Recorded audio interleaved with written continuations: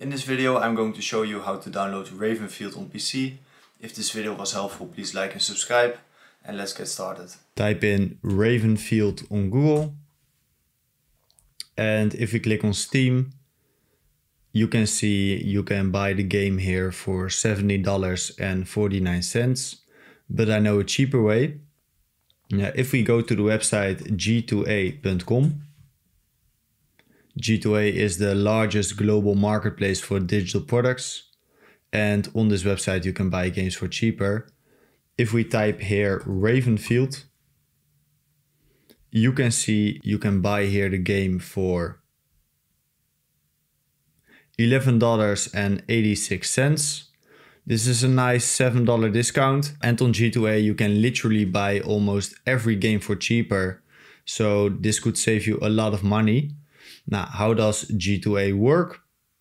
Uh, when you purchase the game, you'll get an email with all the steps what to do, and you also get an activation key to play this game on Steam. So guys, I hope this video was helpful, and then I want to thank you for watching and see you in the next video.